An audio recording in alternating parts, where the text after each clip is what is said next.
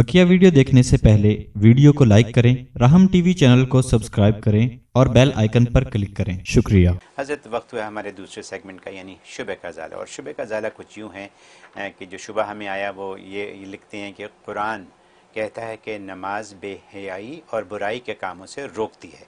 लेकिन हम देखते हैं कि हमारी नमाज़ तो नहीं रोकती, बल्कि बहुत से नमाजी भी बहुत बुराइयों में मुबतला रहते हैं। तो क्या कुरान ने जो कहा है दुरुस्त कहा है? सवालिया निशान है।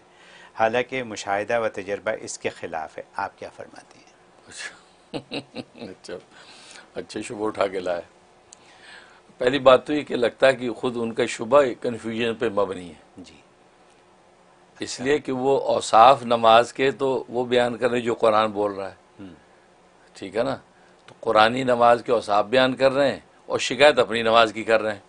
तो दो, दोनों में तो कोई जोड़ नहीं है ना। अच्छा ठीक। तो ये ठीक है ना? तो गोया कि वो औसाफ जो बयान कर रहे हैं कि बेहई बुराई से रोकती है तो वो तो नमाज़ जो कुरान वाली नमाज़ के औसाफ बयान कर रहे हैं। और शिकायत अपनी नमाज़ की कर रहे हैं कि मेरी नमाज़ तो रोकती नहीं है तो दोनों में कोई जोड़ तो नहीं है। ठीक है ना? तो बात असल में यही है कि यहीं से बात खुल जाती है कि एक कुरानी नमाज़ है एक हमारी अपनी नफसानी नमाज़ है। कुरान तो कुरानी नमाज़ के औसाफ बयान कर रहा है कि वो बेहयाई बुराई से रोकती है।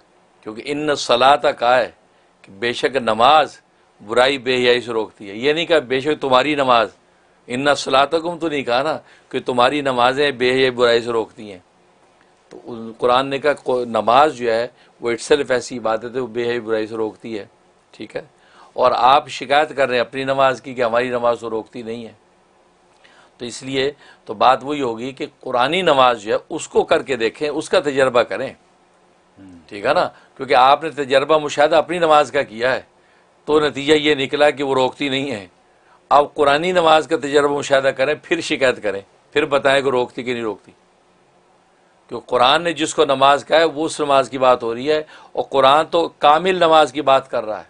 इन नफसलाता बेशक वो कामिल नमाज़ नमाज़ की जो हकीकत के साथ नमाज़ है, वो उसके अंदर ये कमाल पाया जाता है कि बेयाई बुराई से रोकती है। और आप जो नमाज़ पढ़ रहे हैं, वो तो नाकिस नमाज़ है। हमारी नमाज़ क्या नमाज़ है? नाकिस नमाज़, नफसानी नमाज़ है। नमाज़ के अंदर ही खड़े होकर हम क्या, कहाँ होते हैं? हैं? सजदा खुदा के सामने होता है और खुदा के गैर में, के अंदर सोच विचार होती है। हाथ खुदा के सामने बांधे होते हैं, सोच रहे हैं गैर को। तो मतलब ये कि हमारी नफसानी जो नमाज़ है, इस पर यह नतीजा मुरतब नहीं होगा। कुरानी नमाज़ पर मुरतब होगा, जो कामिल नमाज़। और जो चीज़ कामिल होती है असल में वही असल होती है। बस एक आदमी है। आपको उसने कहा यार कोई आदमी लाओ ज़रा ये थोड़ा सा काम करना है। हैं ये कहा। तो वो एक लंगड़ा लूला पाँच बंदा लेके आ गया। आप कहे भाई अल्लाह के बंदे मैं तुझे कहा तो कोई आदमी लाओ यार कुछ काम करना कहते यार ये आदमी नहीं है। टेक्निकली तो आदमी है ना। अक्लन तो आदमी कोई इनकार नहीं कर सकता। लेकिन कहते यार वो आदमी तो है लेकिन जो हमने काम करा ना वो ही नहीं कर सकता भाई।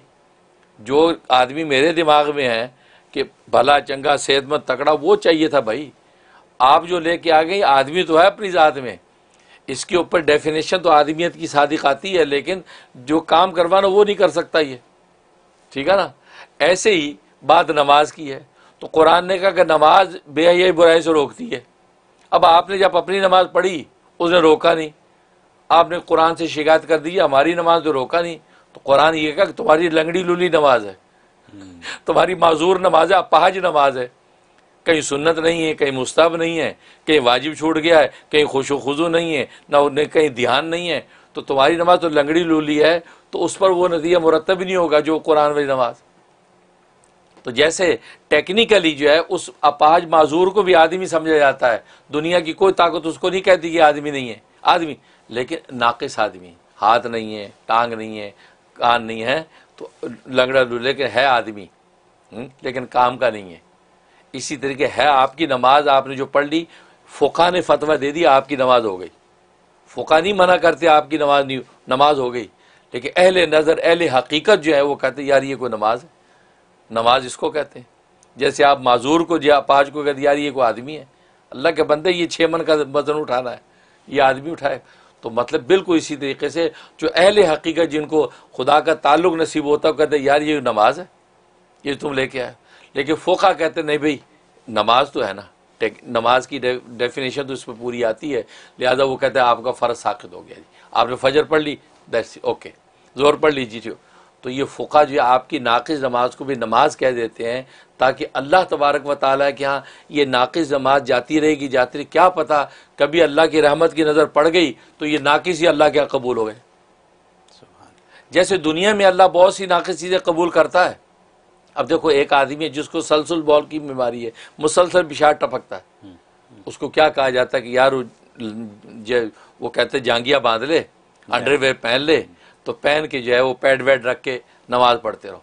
भले नमाज़ के दौरान पेशाब टपकता रहे। ऐसी कोई औरत है जिसको मर्द मर्द का खून टपकने की शुरू हो गया महाना के अलावा तो उसको ये कहा जाता है, पैडिंग करके आप नमाज़ पढ़ती रहें। तो तहारत हालाँकि उसकी कायम नहीं है, और तहारत के बगैर नमाज़ नहीं होती। लेकिन अल्लाह इन दोनों की नमाज़ को नमाज़ कंसीडर कर रहा है। हालाँकि वो नमाज़ क्या हुई कि उसमें तहारत ही नहीं है। अल्लाह कहता नहीं, कोई बात नहीं। वे माजूर हैं, करने दो। वो अल्लाह उस नाकिस को कामिल की जगह पे कबूल कर रहा है।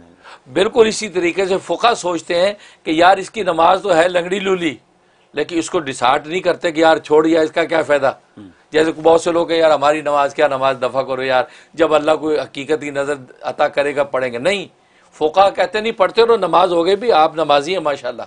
आप पढ़ते रहें।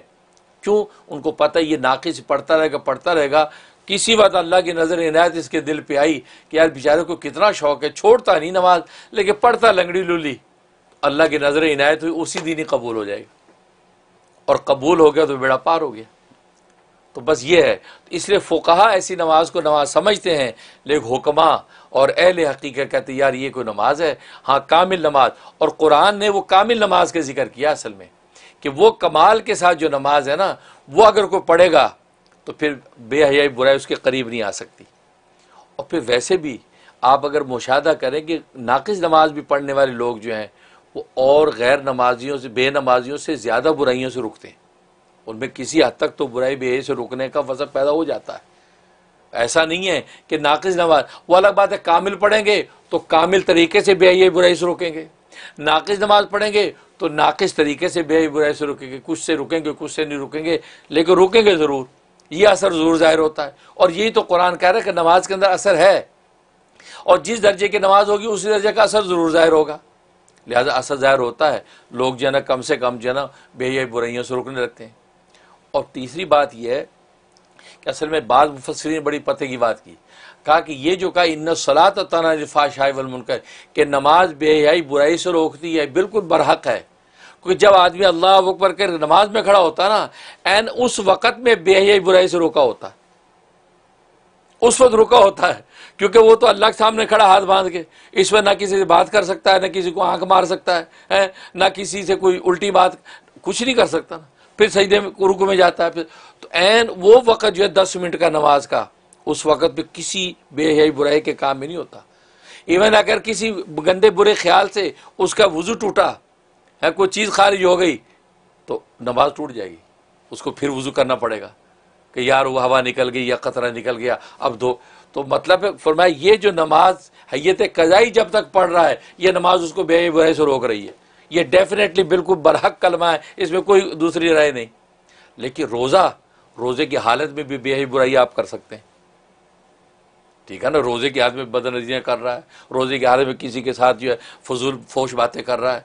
तो रोज़ा है लेकिन रोज़े की हालत में बुराई कर रहा है। वो नहीं रोक रहा। जक़ात है जक़ात देते हुए आप जो कुछ ना कुछ बुराइयों में मुबतला है। सदक़ात बांटते हुए आप जो आँख मटक्का कर रहे हैं। है? कहीं लाइन मार रहे हैं। पॉसिबल हम्म। है। ठीक? इसी तरह हज है। हज करते हुए दौरान हज आप बहुत कुछ उल्टी सीधी हरकतें कर सकते हैं। तो देखो, हर इबादत के अंदर गुंजाइश मौजूद है कुछ करने की। लेकिन नमाज़ का तभी कुरान ने दावा किया कि इन सलातफ़ाशाई बनकर नमाज़ बेहयाई बुराई से रोकती है मतलब जब नमाज़ के हाथ में बंदा खड़ा हो जाए, ये कोई बेहयाई बुराई कर ही नहीं सकता। और ये हकीकत है। और जब इतनी रिहर्सल उसकी होती रहेगी कि दस मिनट ये बुराई बेहयाई से रुकने की रिहर्सल हो गई, इसके अंदर वो विल पावर पैदा हो जाएगी, दस दिन के लिए बुराई से रुक जाएगा। क्योंकि उसके अंदर पावर पैदा होगी और समझ गया, यार, मैंने जो जो बीस मिनट नमाज़ में लगाए कोई बुराई नहीं की, कोई बुराई नहीं की, कोई ख्याल नहीं, कोई तो नतीजा क्या हुआ? तो उसके अंदर पैदा हो जाएगा कि हाँ बात तो सही है। इसका मतलब इन बुराइयों के बगैर भी जिया जा सकता है।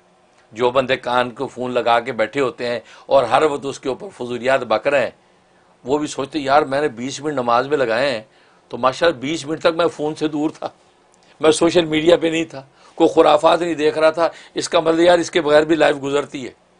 लेकिन रोज़े की हालत में तो ये आप कर सकते हैं। वो बुराई आप कर रहे हैं सोशल मीडिया लेकर मूवी में बैठे देख रहे हैं। और ज़क़़त के दौरान में भी आप ये हरकत कर सकते हैं। हज के दौरान में भी हरकतें कर सकते हैं, लेकिन नमाज़ के दौरान में आप नहीं कर सकते। तो गोया कि ये, गोया कि पाँच टाइम ने में अल्लाह रिहर्सल करवाता है बंदे को कि भाई इस बुराई से हटकर भी जिया जा सकता है, बल्कि अच्छा और पाकिजा जिया जा सकता है। तो बंदे के एक वक्त आता है कि बंदे में जब पैदा हो जाती है तो बंदा का माशा असल इबादत है ही नमाज़. चाचे बहुत से अहले अहल्ला अहल हकीकत ऐसे हुए कि उन्होंने ज़िंदगी में जब अल्लाह ने वो विलायत तो मार्फत अता कर दी तो उन्होंने अपनी ज़िंदगी की सारी नमाज़ें दोहराई। उन्होंने कहा यार वो कोई नमाज़ें पढ़ी हमने? वो तो अल्लाह के सामने शर्मिंदगी हैं। उनमें हमारे सजदे कैसे थे, हमें पता है। क़्याम कैसे थे, कैसे दुनिया भर का ख्याल, खुराफात। नहीं भाई, तीस तीस साल की नमाज़ें कज़ा की उन अल्लाह वालों ने, ज़िंदगी की। कि दोबारा पढ़ी कि अल्लाह के यहाँ जब पेश होंगे, कहीं ये ना हो कि वो नाकिस नमाजें गले पड़ जाएँ। चूँकि अब तो अल्लाह ने हमें वो विलायत और नज़र हकीकत दे दी है। अब हम परफेक्ट नमाज़ पढ़ रहे हैं। पहली वाली भी कज़ाएँ की। हालाँकि फ़िका और फ़ुका की, फतवे के रूह से कज़ा की ज़रूरत नहीं थी। लेकिन उन्होंने इसलिए की कि उनको तो नज़र कुछ और आ रहा है। नज़र कुछ और आ रहा है। वो नाकिस और कामिल की हकीकत से वाकिफ़ हैं तभी वो इस तरह पेश होना चाहते हैं। तो कहने का मतलब कुरान ने अपनी जगह बिल्कुल दुरुस्त कहा है। तो आप जो है असल में औसाफ कुरान की नमाज़ के पेश कर रहे हैं शिकायत अपनी नमाज़ की कर रहे हैं आपका मुगालता जो है वो कन्फ्यूज़न पर मबनी है। I agree with very well said हज़रत एक सवाल मेरे जहन में आ गया। ये अगर ज़रा सा मैं आपका वक्त ले लूँ कामिल नमाज़ पढ़ने का तरीका। एक एक एक मिनट में बस। अच्छा एक मैं ज़रूर अच्छा कामिल पढ़ने का तरीका इमाम गजाली रहमतुल्लाह लिखा है वो ये कि जब अल्लाह अकबर करने के लिए आप खड़े हों तो हर हर लम्हे एक ही तस्वुर बाँध के रखें कि ये जो मैं हरकत सुकून कर रहा हूँ अल्लाह के लिए कर रहा हूँ। अच्छा। बस हाथ बांधे फातिहा पढ़े तस्वुर अल्लाह के लिए। रुकम है जी अल्लाह के लिए। झुक रहा हूँ अल्लाह के लिए। तो गोया कि मेरी अपनी ज़ात का इसमें कोई दखल नहीं। दाएँ बाएँ की रिया का कोई दखल नहीं खुदा की रजा के अलावा और कोई मकसद नहीं। रुकू में है तो रुकू में सुबह रबी अजीम सुबह पढ़ते पढ़ते ही सोचता रहे अल्लाह के लिए कर रहा हूँ। सजदे में गया तो कह अल्लाह के लिए कर रहा हूँ। फरमाया सलाम तक अल्लाह के लिए अल्लाह के लिए अल्लाह। ये तस्वर बाँध के रखोगे फरमाया कि तुम्हारी नमाज़ कामिल हो जाएगी। बस क्या बात है बहुत बहुत खूबसूरत माशाल्लाह। आपने मसले सारे हल कर दिए। बहुत शुक्रिया बहुत बेहतरीन।